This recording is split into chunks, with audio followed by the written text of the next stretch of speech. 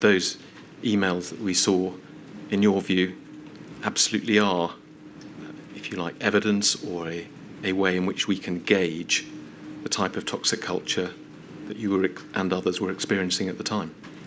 It is also revealing of exactly the wrong attitude to the civil service, if I may. That's I was doing my job as a civil servant, and uh, that I'm confident about that, and the way in which it was considered appropriate to describe what should happen to me, yes, as a woman, but yes, as a civil servant.